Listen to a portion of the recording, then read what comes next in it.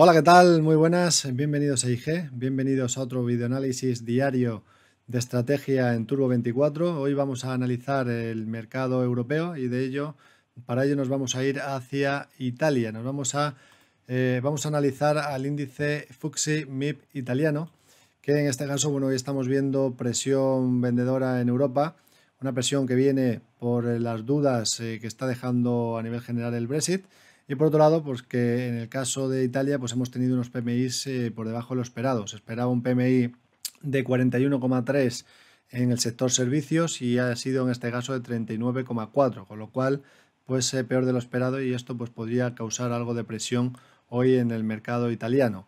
Si nos fijamos directamente cómo está el, eh, el gráfico, podemos ver cómo de momento nos ha dejado un soporte de los 21.906 tendríamos resistencia a los 22.038. Vamos a poner dos posibles escenarios. Uno primero que sería escenario bajista en caso de perder 21.906 y luego pondremos un escenario alcista en caso de superar los 22.038.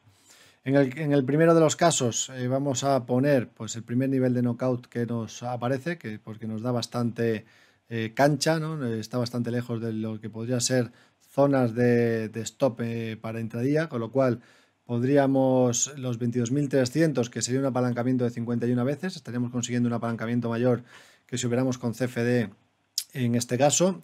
Y bueno, supongamos que queremos poner una orden de eh, límite, validez hasta su cancelación. Vamos a calcular cuál sería el precio en ese caso. Si pusiéramos el nivel de subyacente en 21.906.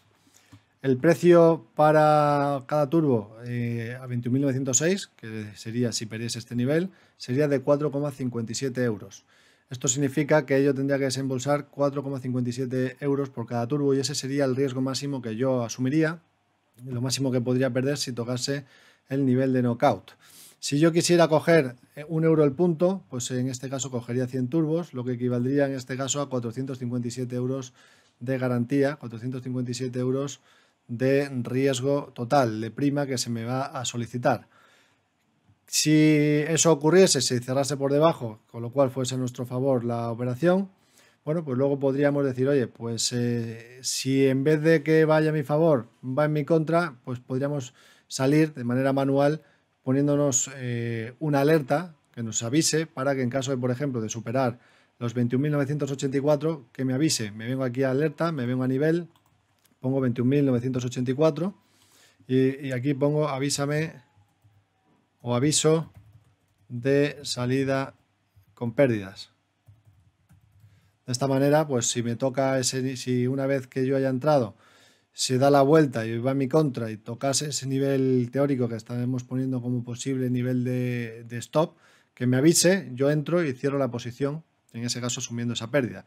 Que además digo, oye, pues quiero que me avise también en el caso de que pues, se vaya acercando a mi nivel objetivo. 21.818 podemos poner, pues pondría 21.818 y si toca ese nivel digo avísame para cerrar con ganancias, para salida con ganancias.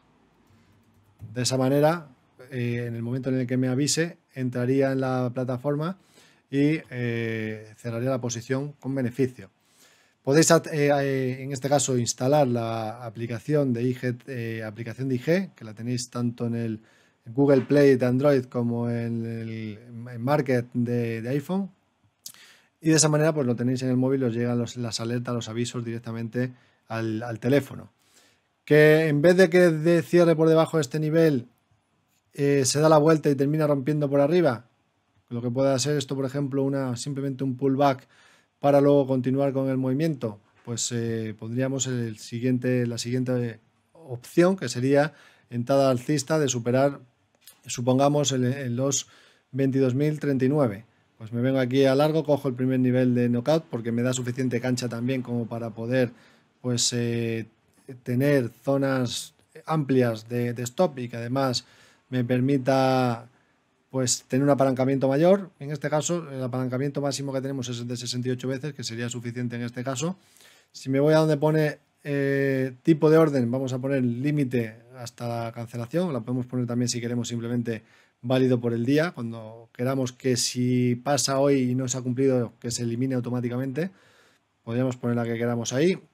Yo suelo poner simplemente válida hasta su cancelación para mantenerla. Y aquí en este caso el nivel de subyacente, pues podríamos poner 22.039, 22.39, suponiendo que cierra por encima de esos niveles, ¿no? de esos 22.038,7. ¿Qué ocurre eso? Pues eh, y quisiéramos entrar, más o menos el precio en ese momento serían 3,92 eh, euros por cada turbo.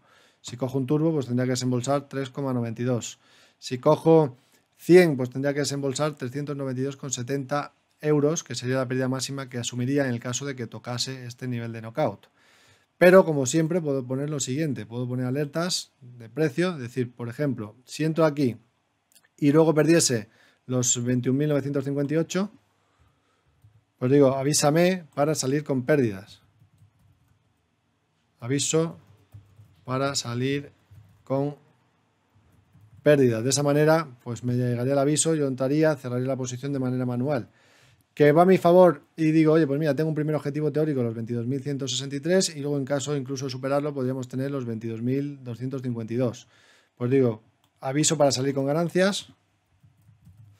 Nivel de precios, pues podríamos poner un poquito por debajo 22.150 para que me avise, 22.150. Y así estoy pendiente y si toca estos 22.159, que sería el siguiente nivel de resistencia R1, pues puede salir con, con esa ganancia.